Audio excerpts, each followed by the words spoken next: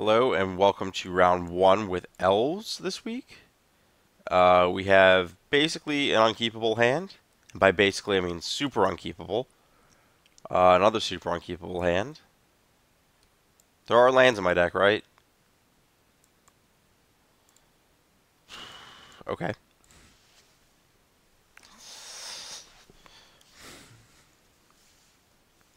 I understand the risk of playing 18, but think any of those previous hands was good enough. Yeah, this is not gonna pan out super well, I have a feeling.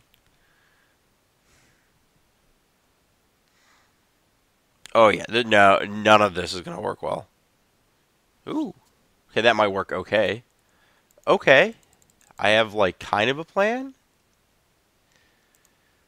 I guess I should have attacked there for two damage. That was a mistake. Uh, though I don't. Eh, I do want to trade. So I can chord to Heritage. If I draw land, Heritage to Archdruid. Do I even want to use the chord there for that? This is an Endbringer. I'm in big trouble. Oh, I can beat that. Two turns to Ulamog? Sure. Oh no, one. Forgot about the conduit's actual ability. I think I just have to take that five.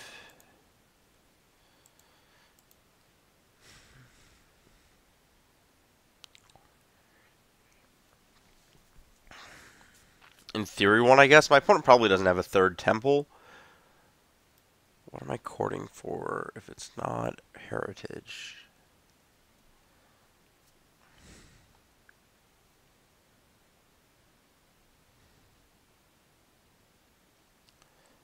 Six mana.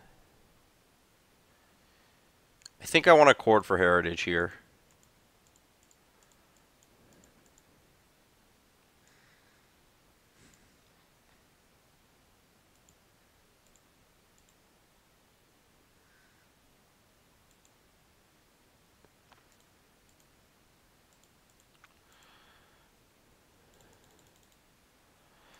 Um, and the reason for that is I think that I don't have enough mana to actually do anything relevant next turn unless I get the Heritage. So I need to hope to draw into another action card and go around a Ulamog. Okay, so we're playing against Trondrazi. Yeah, sure, whatever. I would take that hit easily. Okay, see, this is what I'm talking about. So, let's get some business going. So, three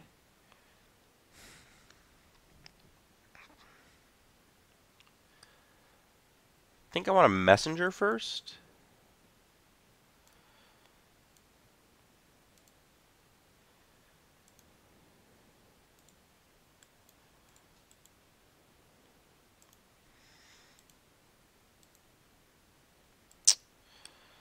That is not the card I wanted to hit. So I need to make five to keep going. Uh, Messenger again, maybe? First? Yeah. Uh, yeah, I like that. So I can leave up the company for Ulamog.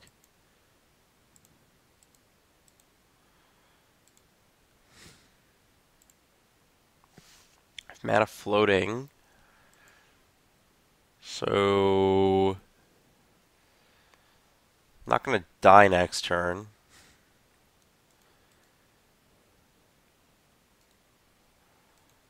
Just using the nettle to uh, maximize mana here.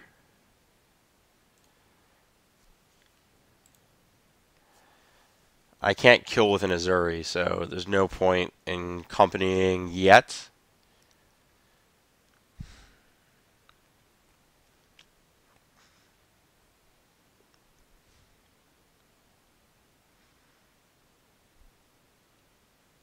I shouldn't have tapped Cavern, though.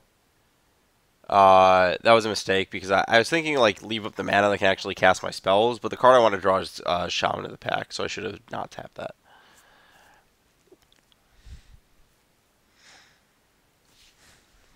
Oh, is this the What Do I Exile? So we're exiling Nettle Sentinel and that. So,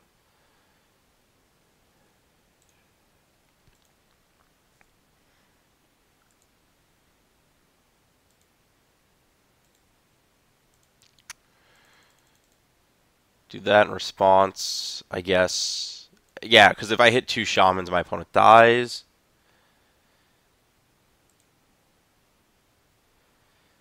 Shaman Ezuri is probably enough.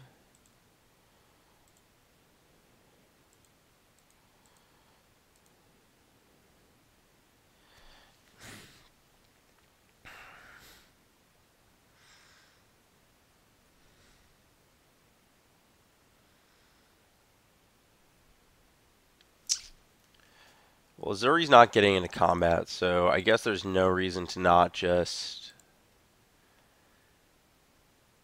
I don't... Yeah, whatever. If my opponent... Okay, so I... Cool. That was easy. I was thinking about silly things like if my opponent attacks, but I actually just want them to attack in that spot. So, uh, against Tron Eldrazi, I don't think that card is very good. I don't even know what I want against Tron Eldrazi, honestly. Um, if I'm going to chord, I probably should have a Revoker in my sideboard. We'll add that to the list of things for improvements.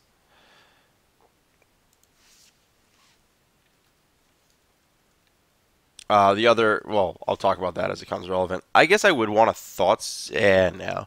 I think I just want my deck to be as linear as possible. Maybe a Rec Sage for Chalice. Just like shave a Visionary, because that card's not doing a lot of business. So far, like medium reviews on this card. Uh, it's kind of expensive, but it's powerful and significantly riskier than Company. Don't want Worship because my opponent's mono Ulamogs. Don't want... That doesn't stop Kozilek's return. I don't think I'm supposed to cut a one drop even in the face of Chalice.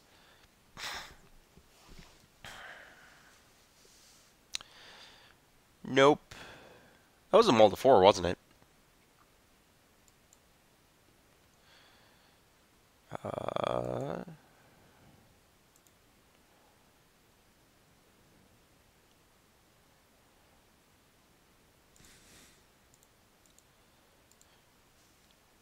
Second land probably important. like, a, like a little bit.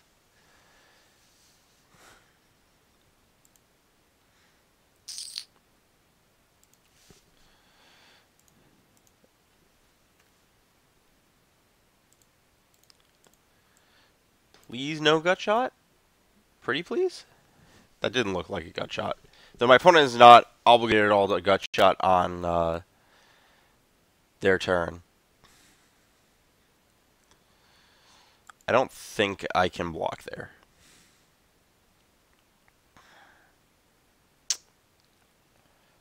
Card is shockingly worse than you'd think against my deck. As you'll notice, my mana costs are 1, 2, 3, 4. Um...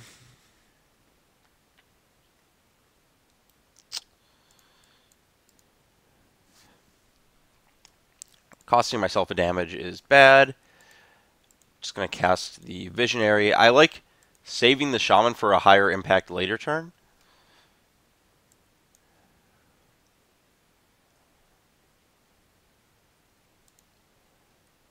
Yeah, just get in there for one with that.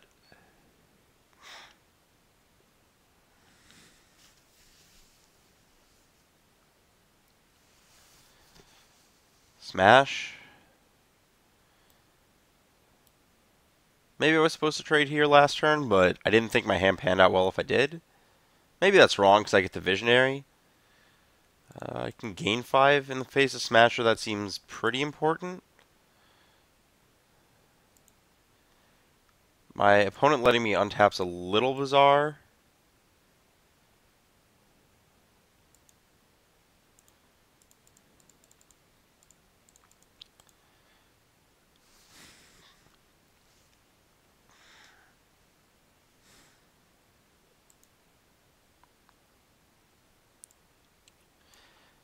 I feel like keeping me off of my fourth mana is pretty important.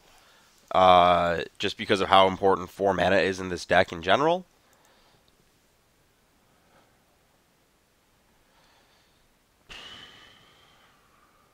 So what's my goal next turn? Can I put enough into play to stop that?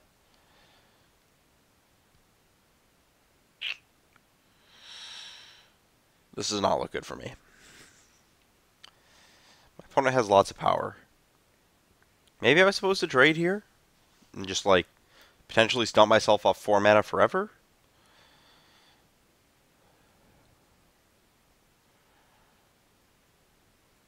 Okay. This is just egregious.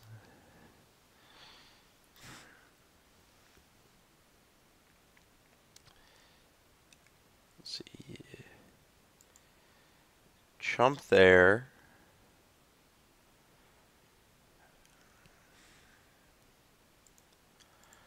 Yeah.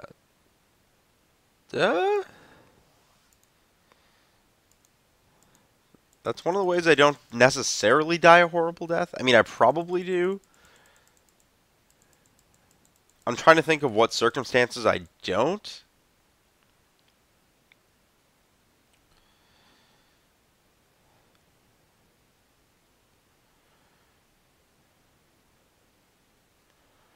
Okay, that's enough for me to concede. Because I can only put two blockers into play. I was thinking I could block both. Oh, no, I just die anyways. Yeah, just mono death there.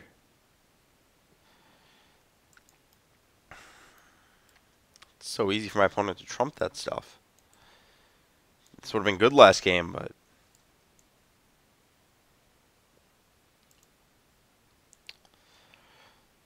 Yep. Not close. This hand's good.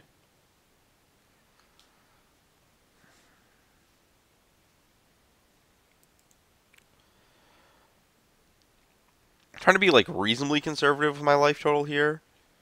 Uh, the Eldrazi deck it does a lot of damage very fast, but it's not like Affinity where you just like with Affinity like conserving your life total is kind of important, but like realistically sometimes it like when you die like sometimes it's Xyzes, but like usually those are the infect kills and a lot of the time you're taking like 10,000 damage off of cranial plating.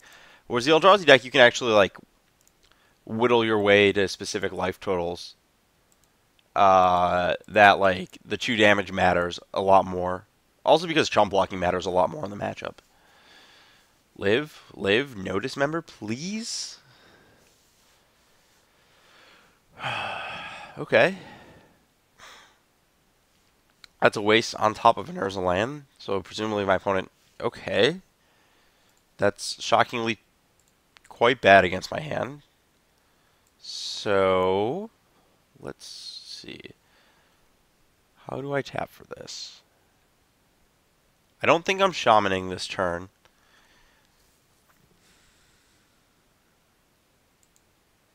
I'm definitely playing Elite. Then I tap Archdruid to play Messenger. And then I can't play a 1-drop, so I attack for 2.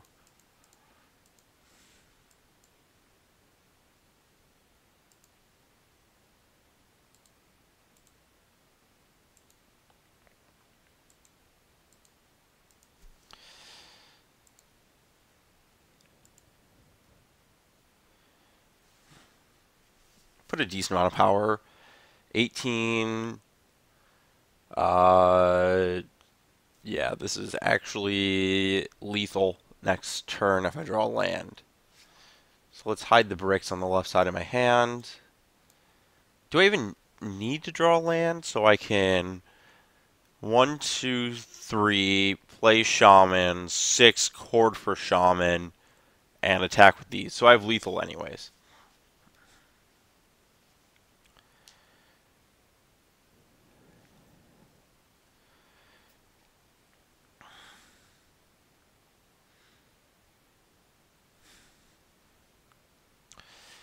Yeah, Chalice uh, seems quite overrated against the Elf deck.